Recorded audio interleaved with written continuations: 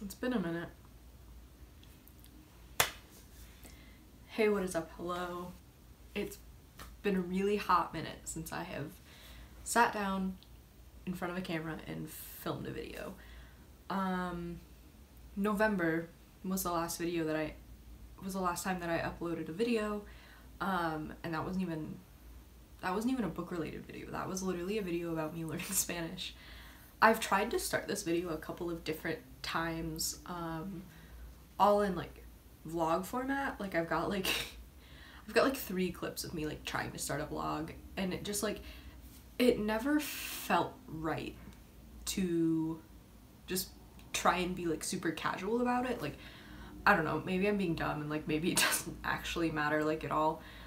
But like, it just, it doesn't feel right to try and be like so casual about being absent for so long and then coming back and just trying to be like, hey, what's up? I'm gonna read 30 books this month. Like, here you go. Um, like that's just, I just, it just like doesn't feel right, I guess. Like I kind of feel like I owe you guys an explanation. Um, which like, like I said, like you probably don't actually care and you're just like, just get to the video, which like, same. Um, but yeah, so, for those of you who do not know, I spent all of last semester in Ecuador. I was studying abroad. Um, I was living with a host family. I was traveling a lot. Um, and I just, I never really found time to ever sit down and film.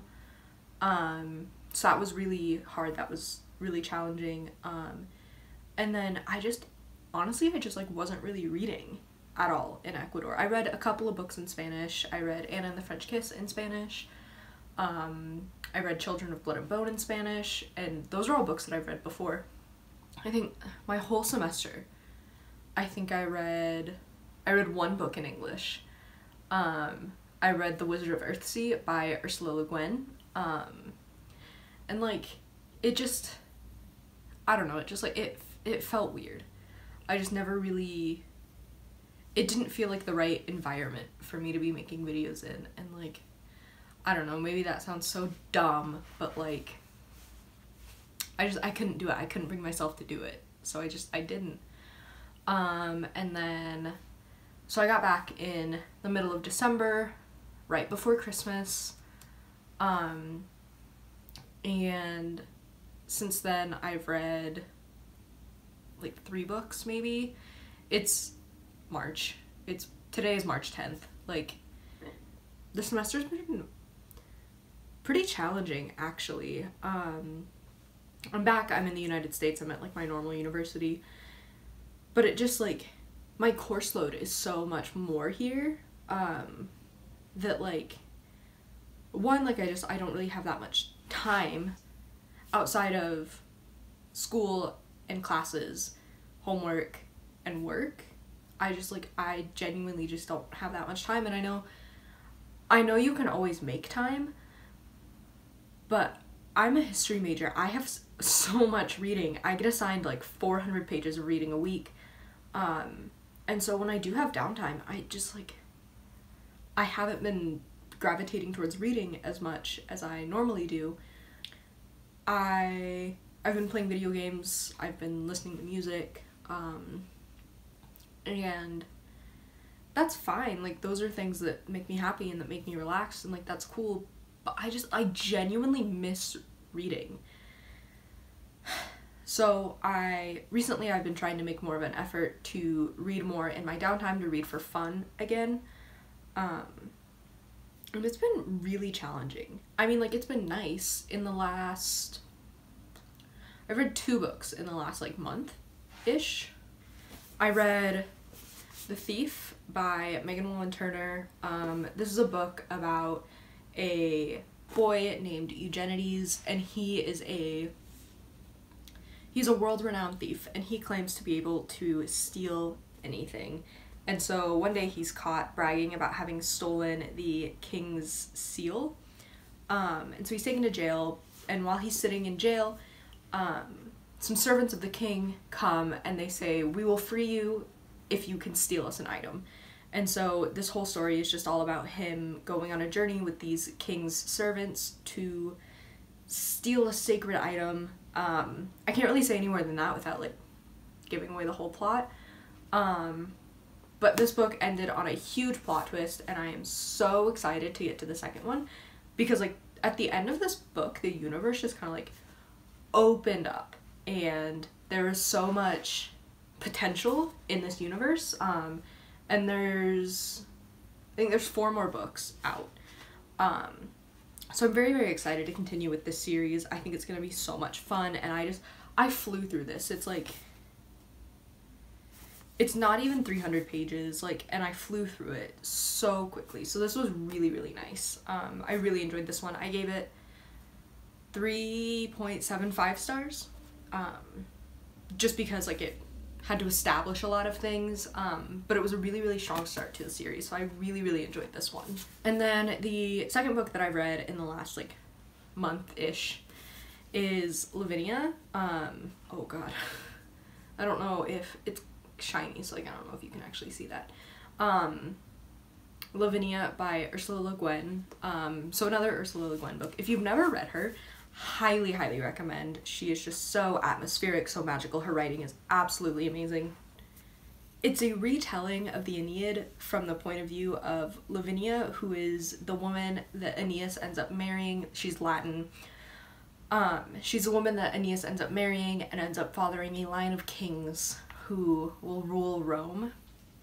100% this angle is different. I am so sorry. My phone just like I record on my iPhone. I have an iPhone 7, so I record all my videos on my phone. It just like shut off and didn't record. So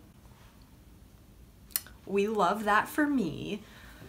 Um so yeah, so this angle's different. So mm, sorry.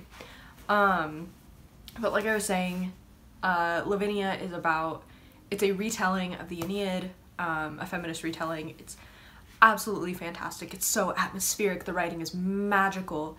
It just, like, I genuinely have no words. Like, it reminded me so much of The Song of Achilles by Madeline Miller, partially because of the content, partially because it is a retelling of an ancient epic. Um, but the writing styles were just very similar. It's very, I don't know how many times I can, like, call it atmospheric, but it was very atmospheric and just ghostly and magical. And I just, I highly, highly recommend it if you really like the Song of Achilles to maybe give this a try because it's prime stuff. Um, so yeah. So those are the two books that I have recently read. Um, and I am hoping to be able to get to a little bit more. Um, essay season is kind of coming up, so I have three essays and a creative research project that are all going to be due in the next like month. So I don't know how much I'm going to get done in the next month. Um, just on by the virtue of being a college student. Um, and so, but I just, I really want to get back to it because I've really missed it and I really miss that part of myself, I think. The book that I'm planning on picking up next is the second book in the Queen's Thief series. Um, it's the second book to The Thief, um, also by Megan Mullen Turner. I don't really know what I'm saying. I'm just kind of rambling. Um, this one's a little bit longer, but I'm hoping that it really that it kind of picks up like immediately where the other one left off. I'm hoping, um, because that one had a lot of plot holes. I'm hoping that it's the same characters, kind of the same premise, I guess. Um, but I'm very, very excited to get to this just because, like I said, the other one, the world at the end of the first one just opened up so much. Um, and so I'm really, really excited to see where where this goes and what is going to happen to Gen. I'm so excited. I absolutely fell in love with him. He's an icon. We stan yeah, so I guess um, this is gonna end sort of my update.